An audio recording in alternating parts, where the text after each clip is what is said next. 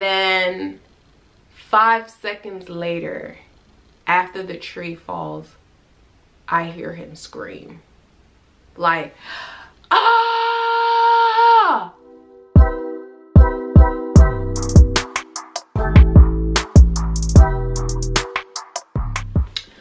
Welcome back to my channel. If you're new here, welcome. If you're a subscriber already, welcome back. And I hope you guys are all doing perfectly fine. Yo, so let's get real for a second. I mean, I mean, I was always real, but um, October. Let me make sure I get the date right. Let me check my phone because this is a story time. Okay, so it was October 19th of last year and it was a it was a beautiful day. It was a beautiful day. And my husband's schedule at the time was like Mondays, Tuesdays, Wednesdays, I think. Mondays, Tuesdays, Wednesdays, and Thursdays. So he does work overnight and we're we were both training for a half marathon because um, we wanted to do the half marathon for our anniversary. And kind of already getting emotional about it. So i had already this was a monday so i think i had already ran that day in the morning. And he usually runs when he can. And he was supposed to i'm sorry if i say and a lot because i'm hearing my own self. Really annoying actually. So i'm going to try my best not to say it too much he was supposed to run that day my husband can't stand the trees that is around our home because it can get really really windy out here and he doesn't want any of the trees to fall on our house my husband also does things by himself he'll figure it out he'll probably never you know, pay someone to do something he can do himself. That's the type of man he is. He's cut down trees before, so he was like, okay, I'm gonna cut down, I'm gonna start cutting down some trees. I said, okay. In my mind, I'm just like, this is not something out the ordinary that he's done it before. Like, okay. So I, our, our son is taking a nap and I go on the couch. I didn't feel like watching TV. My mood wasn't as like happy-go-lucky as it was before as I mentioned in my welcome back video that um, I kind of was kind of going through it so my mood was always in and out a lot. And that time I kind of didn't want to watch TV. I'm not usually a nap taker but I decided to lay down. And so he goes and do his thing. So as i'm laying down i'm chilling whatever. And i hear the tree fall right it's not it's not scaring me because i'm that's what he went to go do is cut down some trees. Literally tree fall boom right? And then five seconds later after the tree falls i hear him scream. Like ah! I immediately i get up from the couch. I run to the back door. I said babe babe where are you? And he's like the tree just fell on me. The tree just fell on me. I'm like where are you? He's like i'm over here. I'm over here. So mind you i'm in the house. I ain't got no shoes on. So i'm about to run down like the the stairs in the back. And I go run back inside to get some shoes. And I run back to the back door.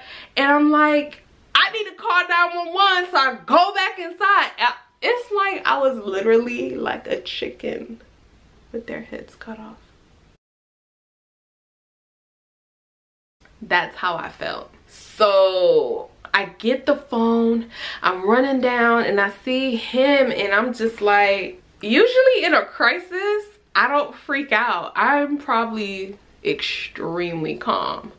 The inside of me though, chaos, pure chaos. But outside, because I'm not trying to freak anybody else out. So I'm like, I get to him and I'm telling him to breathe. I'm telling him to calm down. And I call 911 and I'm like, hey, uh, my, uh, a tree just fell on my husband. And I'm giving him all the information where he is. I'm making sure he's not moving at all. But he's like, mind you, my husband is not crying. I don't see not one tear come out this man's eye but he's just he's he's super super calm and he's just holding on to my leg like to kind of like bear with the pain. So he is squeezing the life out my leg. Babe i never told you that. Which you almost you almost stopped the circulation in my my leg. But it's okay because you were hurting. Going back to the story he's holding like say this is my leg so he's holding it on. So basically you know when you're trying to take pain from another part of your body you kind of like whatever. So um i'm telling him to breathe so he's i'm telling him to breathe i'm telling him to breathe. So he's he kind of goes not in and out but he's like trying to like figure out like damn why didn't he run the other way when he saw the tree coming? And then he i remember him saying man shoulda coulda woulda but now now we're here there's nothing we can do about it. And then he's like it's broken. It's definitely broken in like a couple of places. He think he thought it was three. And i'm like damn well how do you know this information sir? And he said he felt his bone like wiggling inside his leg. And i'm just like yo we don't need this like right now. Like Lord, what is going on? And I'm trying to calm him down. I'm, I'm telling him to look at me so he can breathe, so he doesn't focus on, on his leg. I don't want him to focus on his leg. And I'm just waiting for them to come. And I'm also praying. And I'm on the phone with the dispatch. Ashy? I'm on the phone with dispatch. So, um, they they they want me to stay on the phone with them until uh, paramedics come. So they finally come maybe in like three, four minutes, maybe, I want to say. I don't even think it was that long. I don't know, probably. And so they come, they put him like on a board and he goes to the hospital. Now, because we're in a pandemic and COVID running rapid, we I get into the back of the the thing so we can figure out which hospital he's going to. Because it's either two hospitals he's going to. Both an hour plus away but one is a level one trauma center and one is a level three trauma center. And I was like okay I would want my husband to go to a level one trauma center. We would always want to go to the level one but you cannot be with that person. So my husband would be by himself. That was not okay with me. But they was doing that because of COVID. And so the level three hospital would let me stay with him like overnight and stuff like that. So we decided we're gonna go ahead and go to that level three and we're gonna put everything, our faith in God that he will be fine, that he's gonna get taken care of. So they tell me where the um the hospital is they they tell me where to go. So they take him. The reason i didn't go with him was because i have my stepson in the back taking a nappy nap right? So as soon as they drove off i immediately start crying. Oh my god oh my god. Oh my god oh my god okay wow let's let's do that again um I immediately start crying. Oh my gosh, oh my gosh, why is this happening, God? Why is this happening to my husband? Let him be okay. Like I'm literally, I I'm a complete, I can laugh about it now, but I was a mess so i call i call one of my friends. She didn't pick up. I'm like freaking out. I'm like what to do what to do what to do? I already knew like i gotta go over there. So i kind i start packing a bag. So she calls me back because she hears she hears that i'm crying and she's like what's going on? So i told her what happened and she's like you know he's gonna be fine. She's like calm she was like trying to calm me down because i had to wake up david and he so I wake up David and he's like, you know, are you crying? Why are you crying? Because he didn't know what was going on. Man was knocked out the whole time. Best nap of his life. And he's like, why are you crying? So I try to stop crying, but my friend's on the phone. She's like, it's okay. to it's okay for him to see you cry like you don't have to be strong right now and this and that and so i'm just like david just just help me out like just put your clothes on and like I, i'm just it was a mess so i got off the phone with i got off the phone with my friend and i called his mom my sweet mother in love i called her and i just immediately told her i was like hey straight up hey Joseph was cutting some trees. The tree fell on him and he broke his leg. And I'm on my way to the hospital. Bye. That's it was a very short conversation because I was already a mess. And then I get David in a car on the way to the hospital an hour something away and i'm just like that's the only thing about living out here that i don't like and then um I call my mom. I start crying. She start crying over the phone. Well, she you could hear her voice trembling because you know my dad died from an accident. You know, a freak accident at that. So she wouldn't want me to go through something else, and not especially with my husband. So she's like, you know, we're we're, we're gonna pray for him, make sure everything's okay. Blah blah blah. And um, I call well david's mom calls me um, so i can coordinate with her so she could meet me at the hospital pick up david and yeah it was it was really bad so now we're at the hospital um, we're in the emergency room and um, sure enough he broke his leg in two he broke both the bones in your leg So your tibia and your fibula are the two bones that are in your leg and it was a clean break. So I was like, okay. So, um, we're like, okay, so what's the plan? So of course we stayed overnight there. Um, he had to take a COVID test just to make sure he didn't have any, he didn't have COVID. And if he didn't have COVID, I was going to be allowed to stay. Now, I was not going to drive back and forth from the house there. So, of course, I was there and I have some amazing, amazing friends. Um, they basically bought me a change of clothes, um, got me some food. Honestly, during this whole time, I can see the people that were truly, you know, for us in a crisis um, the people that reached out to let us know like, hey, how can we help? Anyways, I'm getting off the, the track. So my friends picked me up so I get a change of clothes, some food for us, and yeah. So he had surgery the next morning. It wasn't no, he's not gonna be in a cast because his bones broke in what the doctors would say in a perfect spot in a sense but in a sense of like it didn't break too far up close to the knee where he wouldn't too up too close to the knee or to the ankle it was right in the middle like it literally kind of like uh, I don't know what the heck sound I just made but it, it was broken in a perfect place where he wouldn't need a cast what they did was put a rod in the bigger bone it let me google what the bigger bone in your leg is called he knows for sure I don't one moment, please. The tibia. Okay. The tibia, they were gonna like go from his knee and put the rod through the tibia.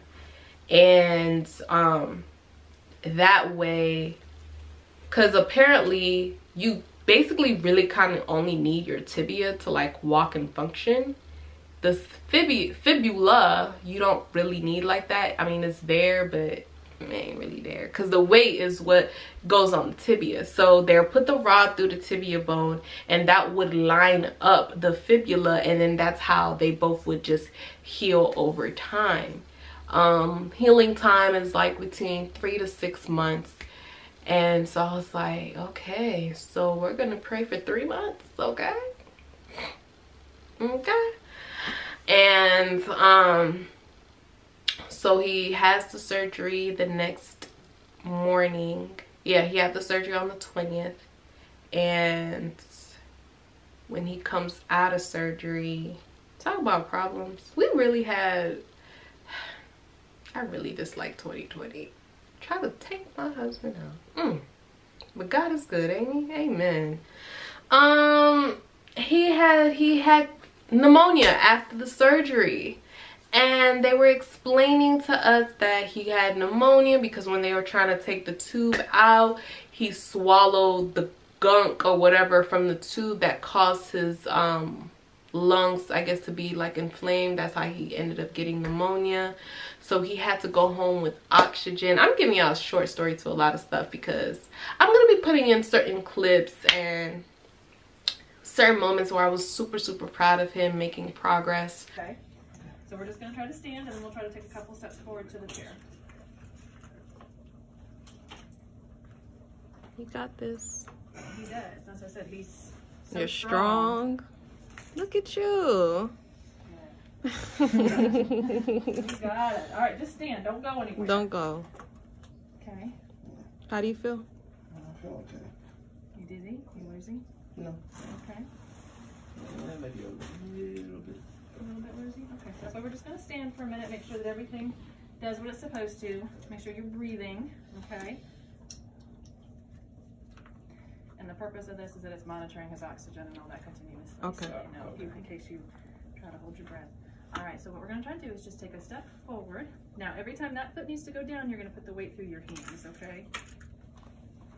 There you go, beautiful. Look at you. Just, all right, then we're just gonna turn and we're gonna back up. There you go. Back up so that right leg fills the chair.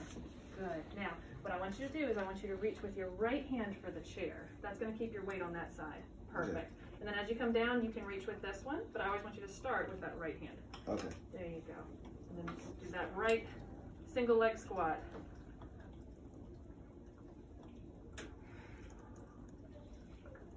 Breathe. Is it okay for my knee to bend? bend? Like yes, that? absolutely. Mm -hmm. They would put you in a brace or something if they didn't want that. so that's why I said you broke it on the exact right spot because you can bend the knee and you can bend the ankle. Okay, if you'd been, if you broke it a little bit lower, you wouldn't be able to bend the ankle, and a little bit higher, they wouldn't let you bend the knee. Look who's sitting down on the awesome. chair. Lost my sock though. Sorry about that. I was trying to. Um, but yeah, he had to come home with oxygen. It was, child, guess what? My man walking now. He is he is actually back at work. He at work right now as I'm recording this. God is so we're at, he started going back to work in January. Broke his leg October 19th. Three months. I prayed for that three months, okay? Listen, God is so good. Y'all can't tell me he ain't real. Just, he is doing well, you know. Unfortunately, we had to stop therapy at a period of time, so he hasn't like gone back like fully himself as far as like running but he's walking normal. He's doing his squats his lunges. Listen my baby gonna be faster than me in like another two months and that's okay. He's always, always faster than me. But i'm just so so proud of him and i'm just so proud of getting through it because the healing after that baby. Those was some very very very hard times and seeing him that way it was so hard. It was so hard because he was in so much pain and pain that i, I don't know what how, what it is to break a bone but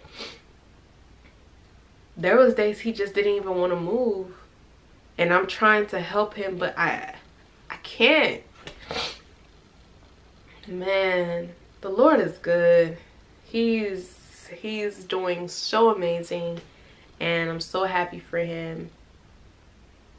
Oh, there's so much to just talk about, but yeah, I think like I'll have him in certain videos where he can talk about certain stuff too. But that's how my husband broke his leg, y'all. But he's doing good. He's doing good now. I promise y'all, he's great. he's great. He's great. But more to talk about it in videos to come you know? But i love you guys. Thank you for subscribing. Thank you for liking. Thank you for sharing this video. I really really really appreciate it. and if you haven't yet what are you waiting for? Click the like button. Click subscribe. Also click that bell so you'll get notified every single time i post a video. I would really appreciate that. Listen it's a new year we're doing big things. We're just being positive and we're just trusting god period all year long. Um yeah that's all i got to say. See you guys in the next video